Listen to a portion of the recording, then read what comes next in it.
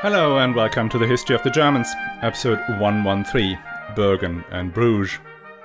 Today we'll talk about the Bryggen, the famous Hanseatic Kontor trading post in Bergen in western Norway.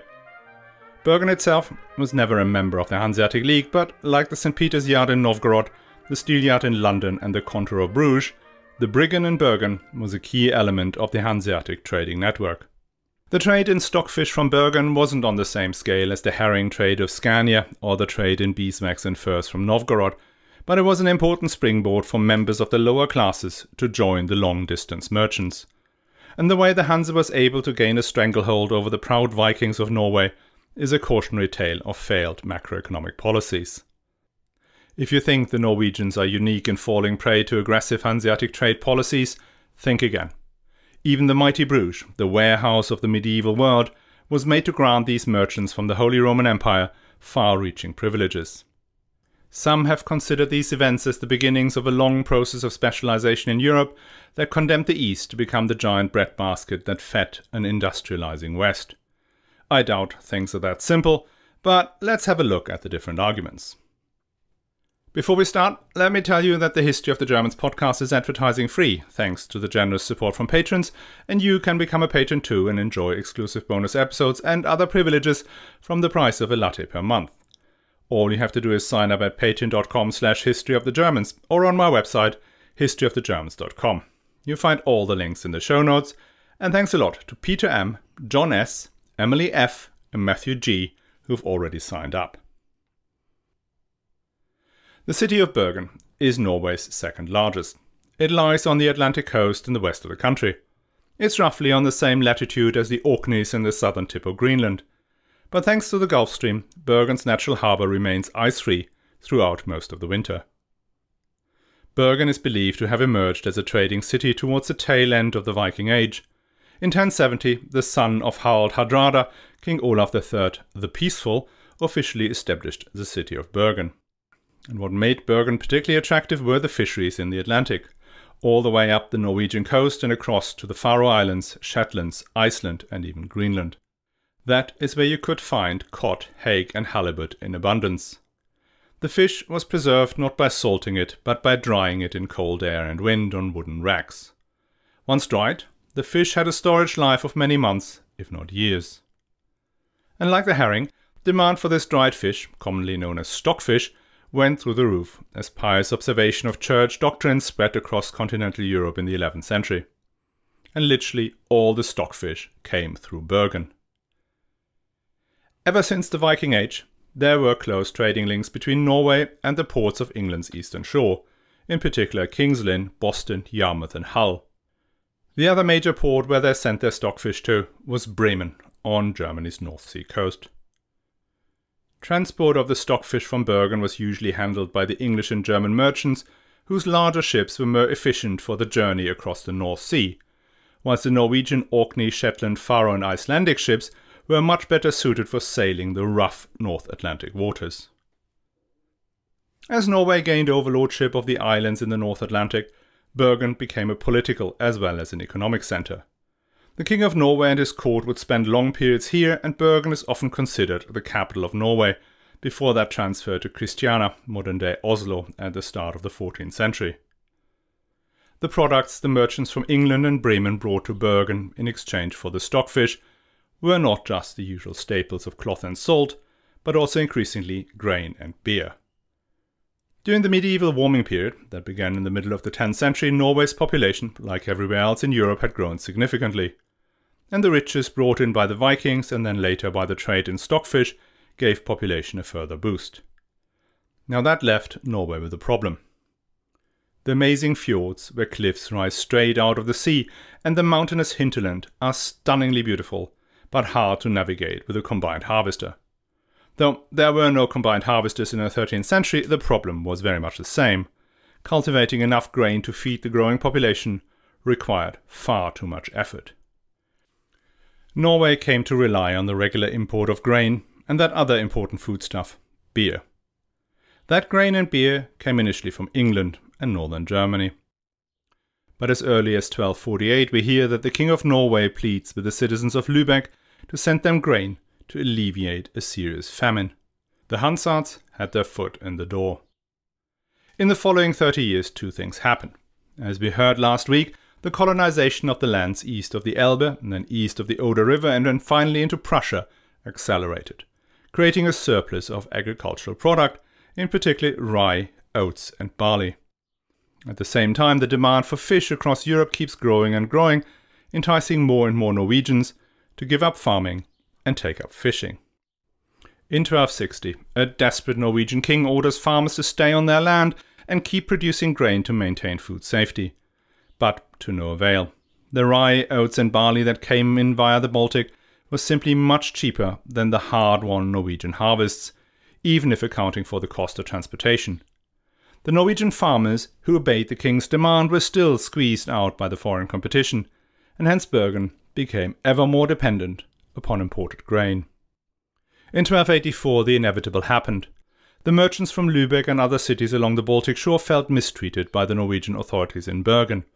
And with some justification, since the Norwegian merchants and sea captains had lobbied the king to restrain the German interlopers. Things escalated when some enraged Norwegians attacked a Hanseatic ship. After that, representatives of several Hanseatic cities came together in Wismar and decided to place an embargo on any grain, beer, malt, and flour destined for Bergen ships were posted in the Öresund and other routes out of the Baltic into the North Sea. Any ship trying to bring embargoed goods to Bergen was to be captured, its load seized, and the merchant who owned it fined. Initially, it was only the Wendish cities, i.e., Lübeck, Wismar, Rostock, Stralsund, Greifswald, Hamburg, and Lüneburg, that agreed to the blockade. Riga, Visby, and some cities along the North Sea joined in after the blockade had been announced. Norway now turned to its other suppliers of foodstuff, the English harbours and the great city of Bremen.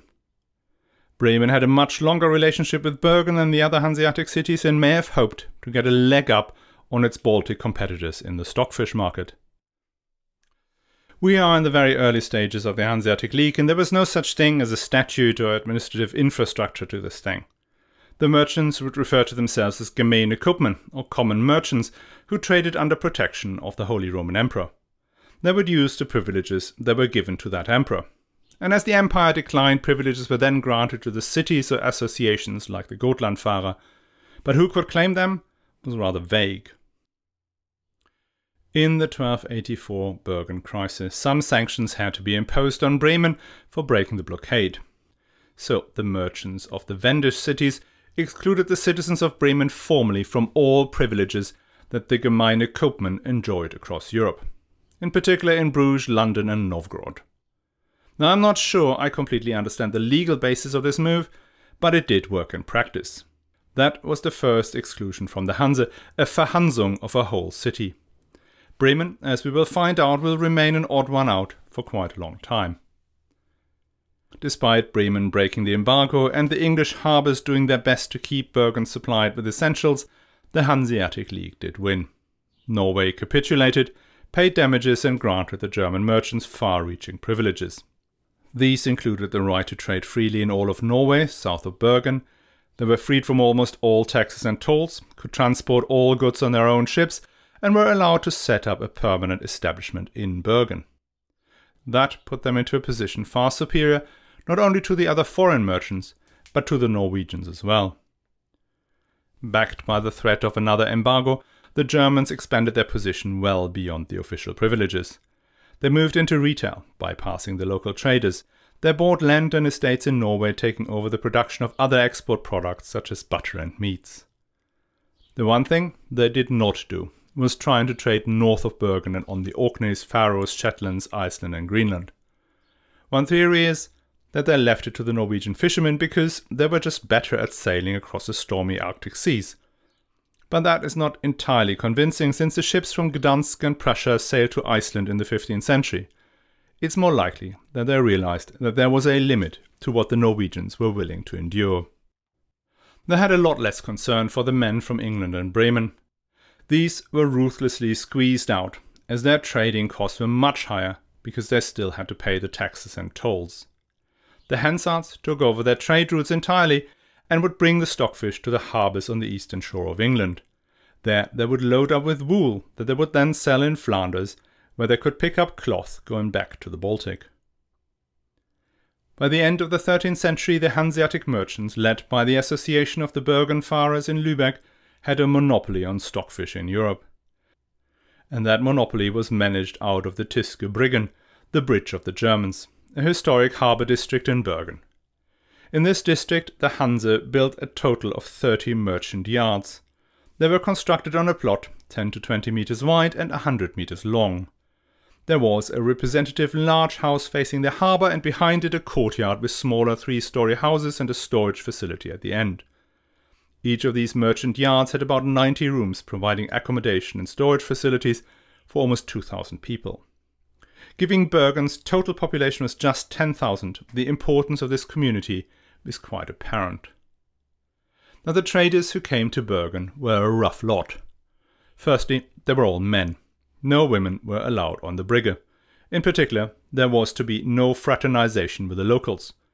The Hanseatic cities who controlled the Kontor from afar were very worried that the merchants in Bergen would integrate into the local society, marry Norwegian women, and over time turn Bergen into an independent merchant city. These constraints meant that most of the inhabitants of the Bryggen were young, unmarried men, taking this as their springboard for a career in the world of long distance trading. As I said before, the trade in stockfish was much smaller and hence less attractive than the herring trade. Not only was it less profitable, Bergen was also a hardship posting beyond the celibacy thing. The weather is famously challenging with 200 days of consecutive rain not uncommon, and the winters are long and dark. Bergen became the place where young, ambitious men without family backing would have to go. They would usually join a partnership with an established merchant. The young and ambitious guy would put in the labor and live in Bergen, whilst the other partner would put in the capital to get the business going. Profits would then be shared 50 50. If things went well, the young entrepreneur would return from Bergen after a couple of years with sufficient capital to either send someone else to take up his job in the Bryggen or expand to become a merchant across multiple trade routes.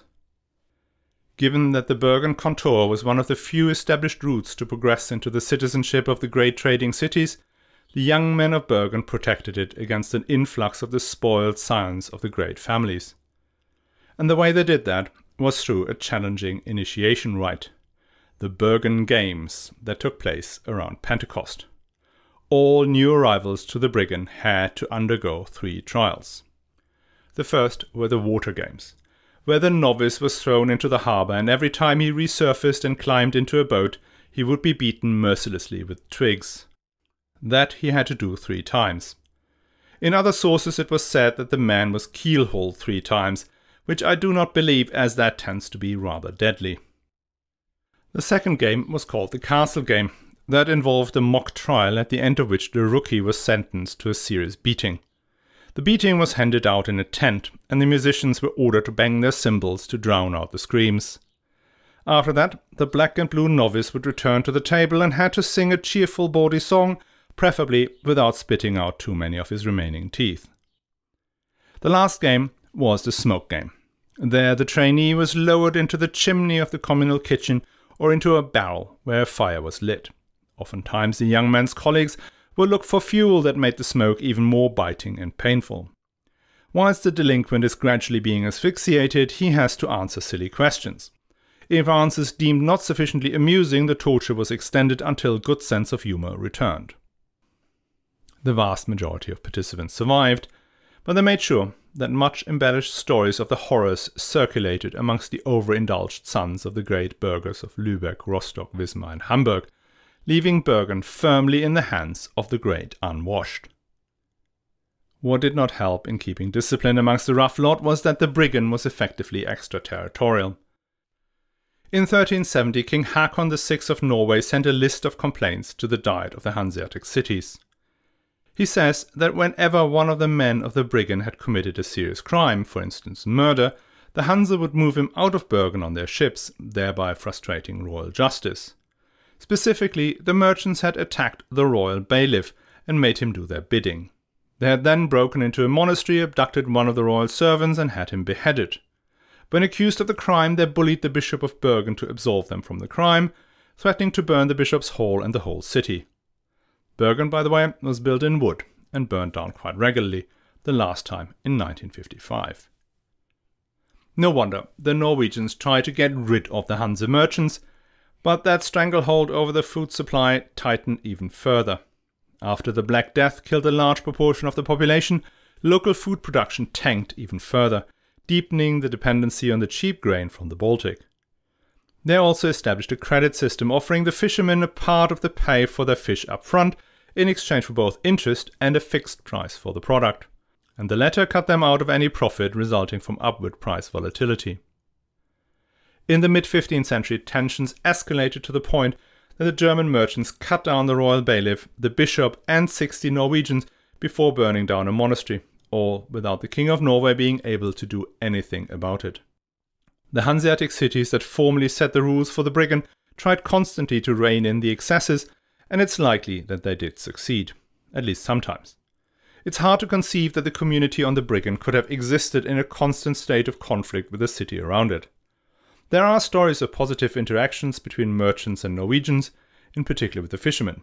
We also find that Norwegian women were being put in the wills of Hanseatic merchants, suggesting the prohibitions weren't quite as draconically enforced. The reign of the Kontor in Bergen came to an end when it got under almost sole control of the city of Lübeck. Other cities, like Gdansk, felt excluded from the trade in stockfish and opened up their own trade routes to Iceland and the islands. Since the solidarity of the Hanseatic cities had now collapsed, the threat of an embargo disappeared. The King of Norway allowed direct trade outside Bergen, and the city's central role in the trade of stockfish ended. The burghers of Lübeck sold their merchant yards to the apprentices or to Norwegians, and over time the Bryggen stopped being the Tyske the bridge of the Germans, but just the Bryggen. Formally, that name change happened in 1945 after the German troops that occupied Norway had left. But that's a story for another time. If you want to find out what a Hanseatic Kontor looked like, you have to go to Bergen, where it still stands as a UNESCO World Heritage Site. Bergen and Novgorod were not the only Kontors the Hanse maintained. The two more, Bruges and London. Now let's talk about Bruges first. Bruges is today one of the great cultural destinations of Belgium. People walk through the picturesque alleyways, admire the canals and the market square with its towering belfry, before taking a look at the Beginenhof. What they often fail to realize is how unbelievably important Bruges was in the 13th century. It was the true center of the commercial world north of the Alps. It was the place where Scots and Englishmen brought their wool, Dutch and Frisians brought cattle, merchants from La Rochelle and Bayonne delivered wine. All Iberian peoples were present Basques, Navarrese, Castilians, Portuguese, bringing iron, fruit, and again wool. In 1277, a fleet from Genoa arrived, opening up a direct trade route between Italy and northern Europe via the Atlantic coast. Moreover, the Italians brought with them the emerging art of finance. The great banking houses of Venice, Genoa, and later Florence set up shop in Bruges, accepting and issuing letters of credit and bills of exchange. A bourse was opened in 1309, one of the first of its kind. There, entrepreneurs could raise funding for audacious trading adventures from other merchants or from the representatives of the great banking houses. If you take a look at the Arnolfini portrait in the National Gallery, you can see one of these Italian bankers who had settled in Bruges. He may wear a silly hat and have an awkward posture, but underneath it is a man as shrewd and as ruthless as any New York hedge fund manager. And he did pretty much the same things buying and selling participation in enterprises, funding startups, and helping to buy out retiring merchants. Just with an abacus instead of three blinking computer screens. Unsurprisingly, the Baltic Hansa was keen to be present in this epicenter of European trade. They brought in their herring, stockfish, grain, beer, copper, pelts, butter, beeswax, and ash. And at the same time, they could find literally anything medieval artisans and farmers could produce. All kinds of luxury goods from the Mediterranean could be picked up and sold on to some Swedish count or Teutonic grandmaster. But mostly, they were interested in Flemish woolen cloth that had become the most desirable kind of textile across Europe. In 1252, the Countess of Flanders offered the German merchants to set up a physical Kontor in Damme, the harbour of Bruges. It would have been a place very much like the Bryggen in Bergen and the Peterhof in Novgorod, a place for the Hanseatic merchants to stay when in Bruges, to store their wares and to buy and sell goods. But that did not work out, as either the citizens of Bruges pushed back or the Hansards went too far in their demands. Still, the Countess granted the merchants from the various cities of the Holy Roman Empire wide ranging privileges, including to be exempt from the trial by combat, not to be made liable for the debt of other Hanseatic merchants, and to be exempt from the lex naufragii, which allows the locals to seize all property washed ashore after a shipwreck. They were also given lower tariffs on their goods and the right to maintain their own weighing scales in the harbour of Damme. The community of the Gemeinde Koopmans, the common merchants, grew at the same breakneck speed as the city of Bruges expanded in the 13th century. Initially, it was the men from Bremen who had been welcomed for their beer, but soon the Lübeckers and Hamburgers overtook them. Though they did not have their own separate yard, there were two streets named after these cities, suggesting that many of them congregated in designated inns. And it's in Bruges where we encounter more of the inland members of the Hanse.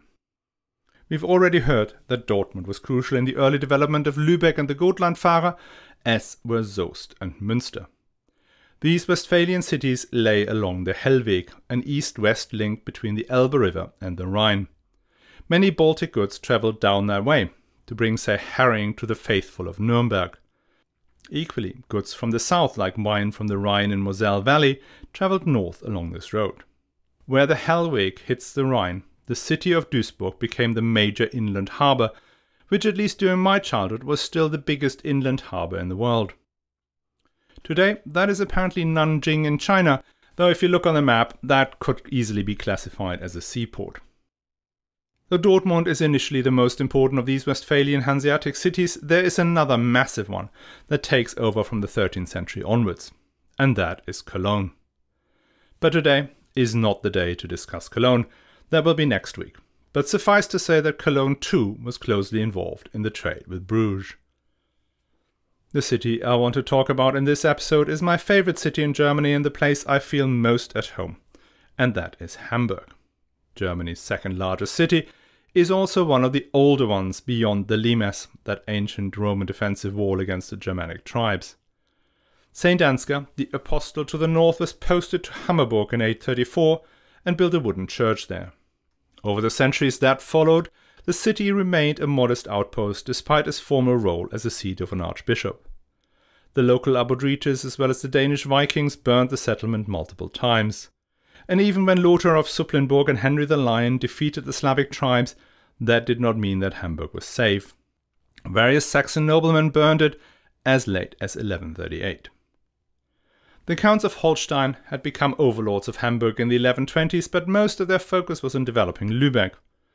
Only once they had lost Lübeck to Henry the Lion and failed to get it back after the Duke of Saxony had fallen, did they focus on Hamburg.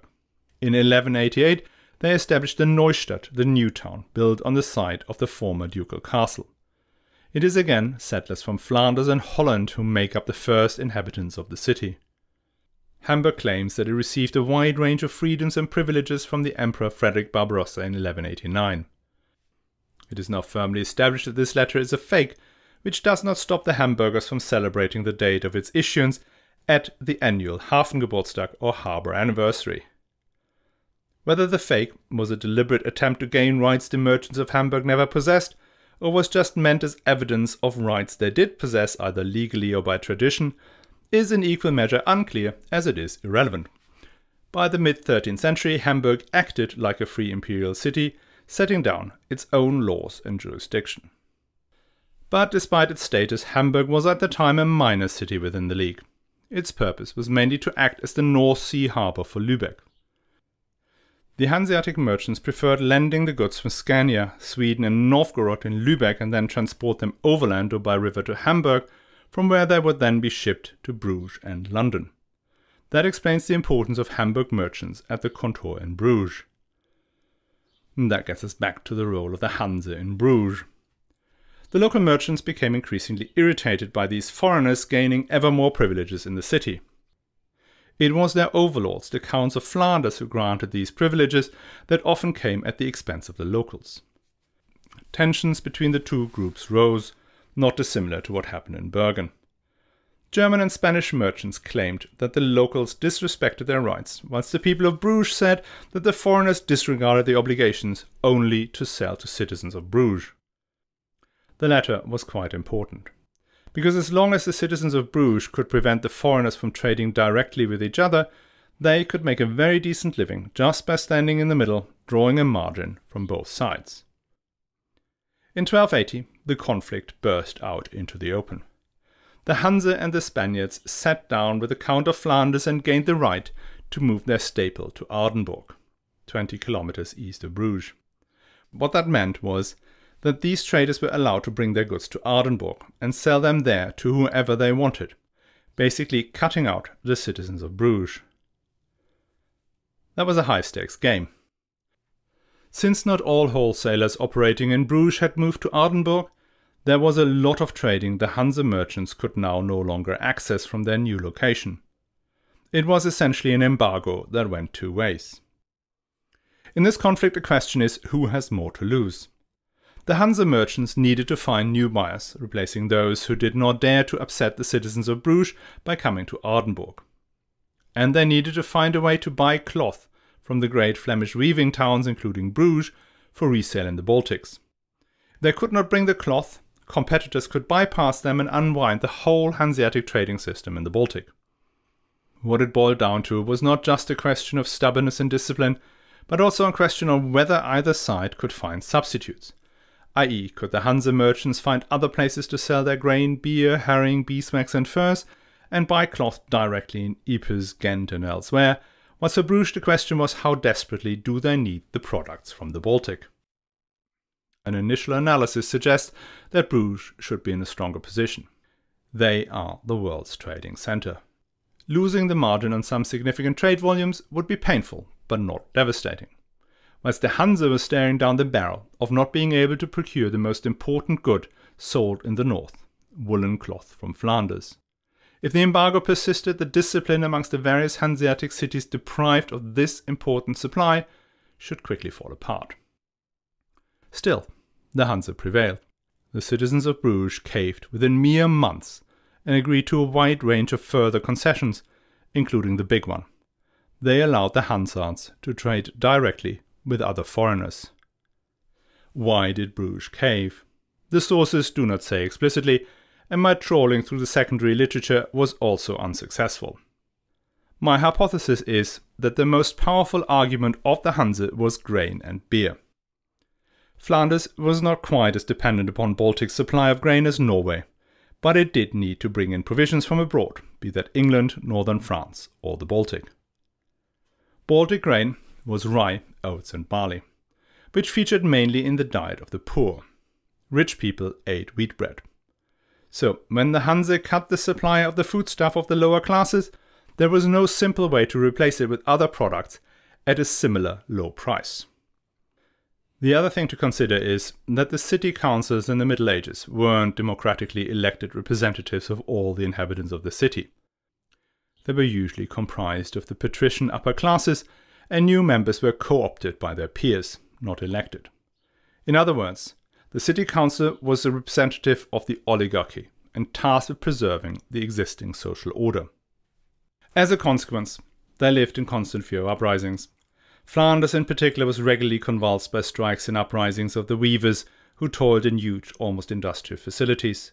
So fear the embargo could trigger an imminent hunger revolt of the city's underclass seems to have forced the council's hand, overriding the more long-term challenges to the Hanseatic trading system. Given the embargo had been so successful, the League would use the same technique again in 1307-09, 1358-60, 1388-92 and 1436-38, and was successful in all these instances, gaining new privileges every time. Bruges may today be one of the lesser known trading posts, but it was in reality the by far most important Kontor of the Hanseatic League. Whilst I'm sure that winning the fight with the Bruges City Council was celebrated across the Baltic as a great success, and many a brick Gothic cathedral bears witness to the economic gains made by the burghers of Lübeck, Wismar, Rostock, Gdansk, Riga, Tallinn, and so many more. but some economic historians believe that this deal had some serious negative implications for Eastern Europe.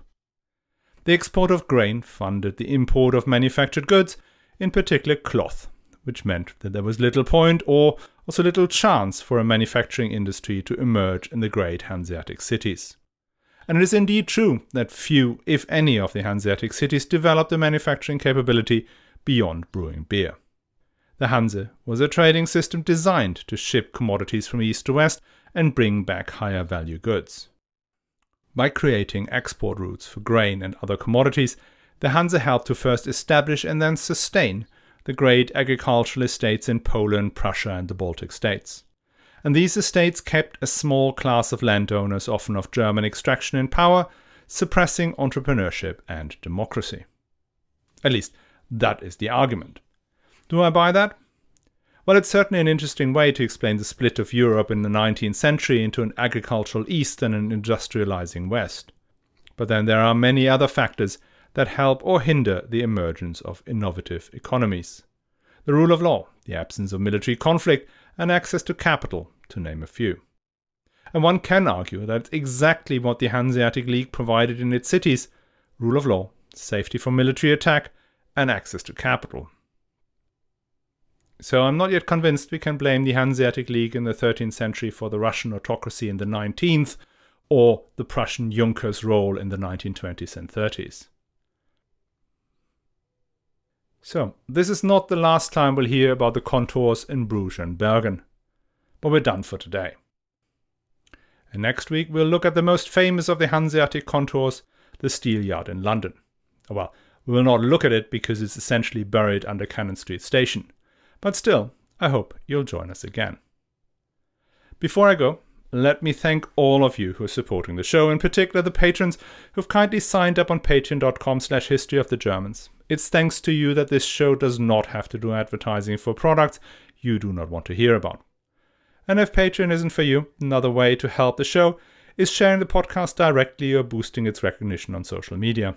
If you share, comment, or retweet a post from the history of the Germans, it's more likely to be seen by others, hence bring in more listeners. My most active places are Twitter at Germans History and my Facebook page, History of the Germans Podcast. As always, all the links are in the show notes. And just to remind you, the sub podcast The Hanseatic League is still running. So if you want to point a friend or relative towards the history of the Germans but want to avoid confusion, just send him there. The Hanseatic League podcast is available everywhere you can get the history of the Germans. And last but not least, the bibliography. For this episode, I relied heavily on Justyna Wubs-Mrozewicz, I do apologize for my pronunciation, but she's written an article called The Rules of Inclusion, Rules of Exclusion, the Hanseatic Kontor in Bergen in the Late Middle Ages and its Normative Boundaries, which you can find a link to in the show notes. Then Carsten Müller-Boysen, Die Deutsche Brücke in Bergen, which is published in Die Hanse, Lebenswirklichkeit und Mythos, herausgegeben von Jörgen Bracker, Volker Henn und Rainer Postel. Then, as always, Philipp Dollinger, Die Hanse, and Rolf Hammel Kieslow, Die Hanse.